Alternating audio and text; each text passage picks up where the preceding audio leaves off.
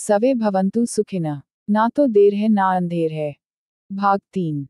हम किसी को भी मानते हों। हम व्यर्थ की बातों को त्याग कर। ज्ञान के अनुसार सत्कर्म करें। यही लेख का उद्देश्य है। चाहे हम किसी भी धर्म को मानते हों। यदि हमें आध्यात्मिक लक्ष्य को प्राप्त करना है। हमारे अंतर में छिपे स्वयं के स्वरूप का साक्षात्कार करना है। दिव्य सुख परमानंद की अनुभूति करनी है तो। हमें हमारे अंतर में जन्म जन्मांतरों से। मन रूपी दर्पण पर जमी हुई। कालिक मेल गंदगी को। ज्ञान रूपी साबुन के माध्यम से साफ़ करना ही होगा। जैसे एक गंदे कांच में अथवा हिलते हुए पानी में। छवि स्पष्ट दिखाई नहीं देती है। तो मन रूपी दर्पण को। यम नियम।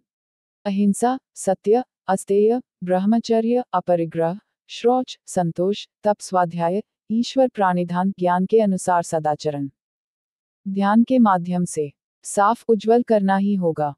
चंचल मन जो की, ना जाने पल भर में कितनी, लंबी लंबी यात्रा कर आता है। कितने ही विचारों से सराबोर होता है। उसे शांत करना ही होगा। उसकी संसार के चिंतन की यात्रा को, ध्यान के दौरान एकाग्र कर, शांत करने का अभ्यास करना ही होगा। यह भजन हमें सचेत करता है कि, सुख, दुख, संपन्नता, विपन्नता शक्ति, निर्बलता, जो कुछ भी मिलता है, वह हमारे स्वयं के कर्मों का परिणाम होता है। जैसे कि हम सत्य पथ पर चले रहे हैं, लेकिन फिर भी किसी भी कारण से दुर्घटनाग्रस्त हो जाते हैं, अथवा शरीर में कोई रोग लग जाता है तो उस दुर्घटना अथवा रोग के माध्यम से हमें जो दुख प्राप्त होता है, वह दुख हमारे पाप कर्मों को नष्ट कर देता है। अब वह पापमय कर्म, चाहे इस जन्म में किए हों अथवा पूर्व जन्म में किए हों, यानी कि पापमय कर्मों के कारण, हमें जो दुख प्राप्त होता है, वह दुख हमारे प्रारब्ध संचित क्रियमान पाप कर्मों का ऋण उतार देते हैं। हमें जो भी सुख प्राप्त होता है, वह हमारे प्रारब्ध संचित क्रियमान कर्मों के कारण ही प्राप्त होता है।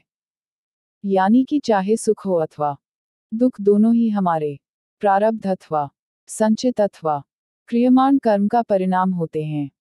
लेकिन इस संसार में अधिकतर मनुष्य दुख को देखकर तो दुखी होते हैं।